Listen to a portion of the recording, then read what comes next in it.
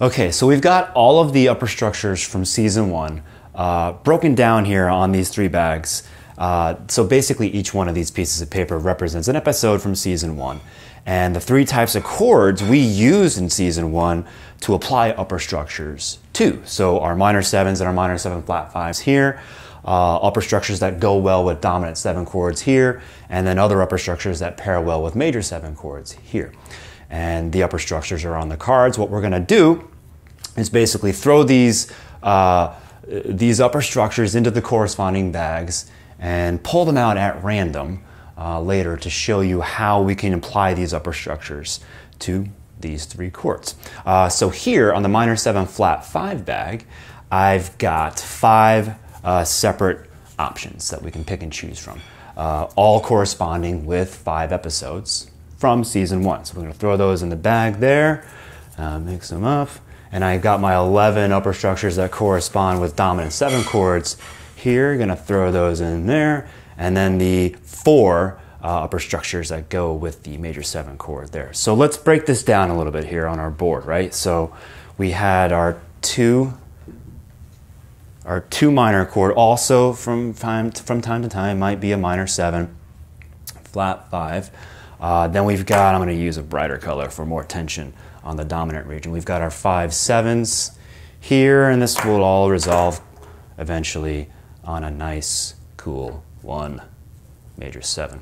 Uh, so the reason I just I didn't really at random pick a 251, right? If I'm if I'm looking at these lower structures that we're pairing the upper structures with, it kind of automatically spells out a 251 progression, a minor 7, a dominant 7, and a major 7. So for for the purposes of this exercise, we're going to apply it to a 251, but as you'll see later, we don't have to. These are going to work really well with a ton of different chords.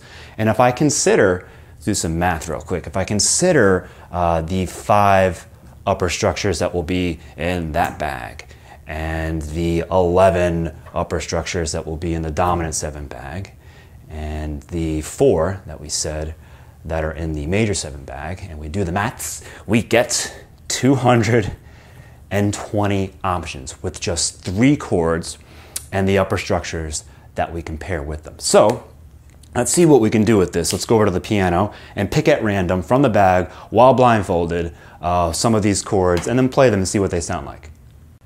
All right, so let's pick at random any upper structure that pairs well with a minor 7 chord or minor 7 flat 5. Um, a quick note about that. So yeah, we can use the minor 7 flat 5, don't forget, because we can always borrow uh, from minor. And since we're targeting a major 7 chord, or a major chord in this case, that's effectively what we would be doing if I were to play an upper structure on top of a minor 7 flat 5. We would just be borrowing from minor for a split second. But that's why you see both of those uh, chord symbols as lower structures on this back as an option. So let's go ahead and randomly pick an upper structure for the minor 7. Uh, let's see here we get from episode 9, 5 minor over minor 7. So let's think about that here. Uh, so 5 minor over, a, in this case, because of our progression, a 2 minor 7 chord. All right, let's keep going here. Let's get all of them out of the bag first, and then we'll write out the actual uh, progression on the board. So what's going to go on top of our dominant 7 chord? Uh, our 5 chord in this case, we have a, all right, a major 6 chord over the dominant seven chord. So that would be uh, major six over dominant seven. One more. So we're, here's our major seven chord. This is our target. Uh, let's see, what do we get here?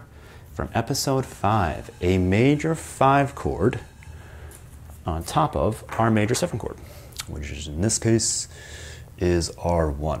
All right, so if we if we were to do this uh, in C, what we would get here, uh, what's the 2 of C? Let's write out the actual progression first. So we'd be going D minor, uh, G7, uh, C major 7. So there's our 2, 5, 1, and C.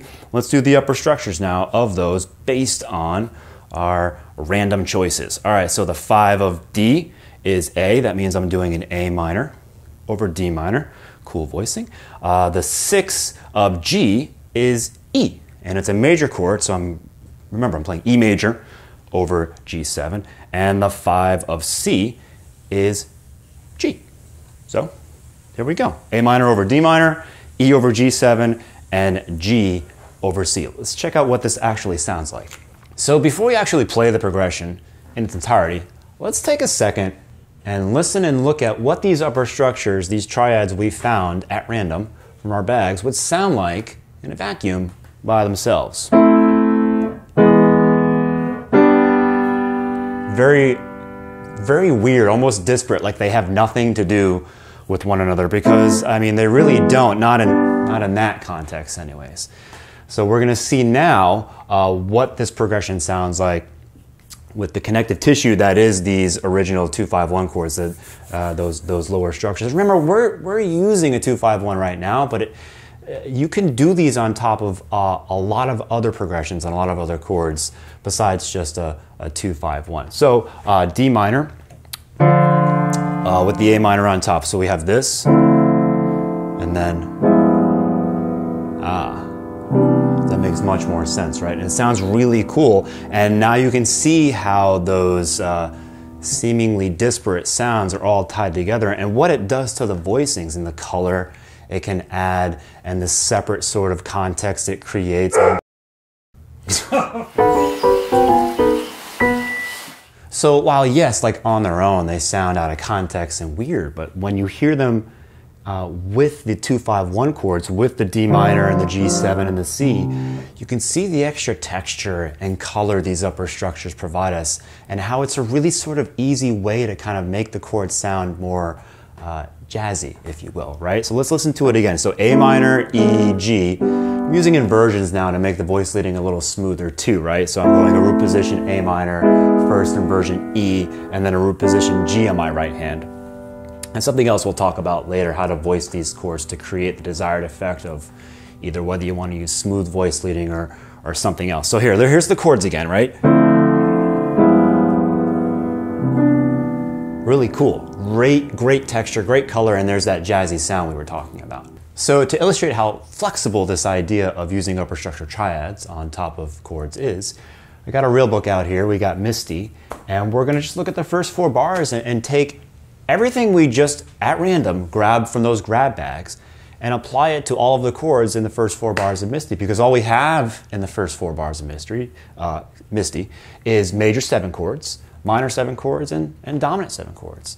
So not only can we apply the idea of upper structures to this, we can use exactly what we grabbed at random and wrote on the whiteboard earlier to all of these chords uh, in the first four bars of Misty. So taking the three types of chords we're playing our upper structures on top of that we uh, talked about earlier in the video, the major seven, the minor seven, and the dominant seven. We see our first chord of Misty is a major seven chord, so that's going to correlate really nicely uh, with the major five chord on top of that. So we have E flat major seven, uh, five major on top of that. That's going to give us B flat. So B flat on top of E flat major seven. All right, so on the downbeat of measure two, we have a minor seven chord. Uh, that's when we're using our five minor. So in this case, we have F minor over B flat minor seven. So on the third beat of the same measure, we see our first instance of a dominant seven chord, uh, E flat seven. This is when we use the six major.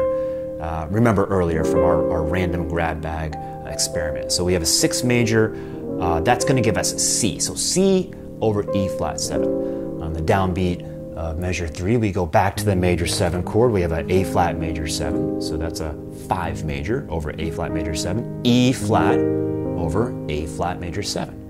And then we move to an A flat minor seven. There's our five minor upper structure, so we get E flat minor over A flat minor seven. Remember, the five of A flat is E flat. That's what we're basing all of these upper structures on. All right, so five minor, the fifth of A flat, E flat. Uh, then we're going to go to, in the same measure, a dominant seven chord, D flat seven. So there we use the six major, so the six of D flat is B flat. I got my B flat major chord on top and my D flat seven on the bottom. And we're going to go into the next measure and resolve this uh, harmony with an E flat major seven. So there's my major seven chord again. We're going to go five major, the five of E flat, is B flat, so I get a B flat major triad on top of E flat major 7. And if we put all of that together, let's see what it sounds like.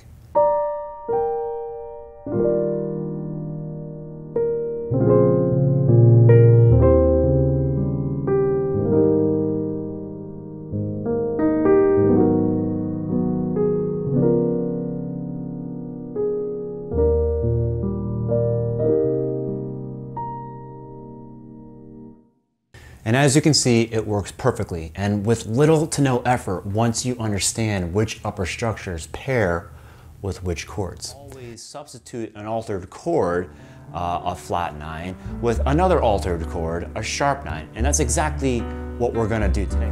Thanks again for watching. If you really like this video and you wanna learn more about this topic and all sorts of other stuff, check out our channel on YouTube.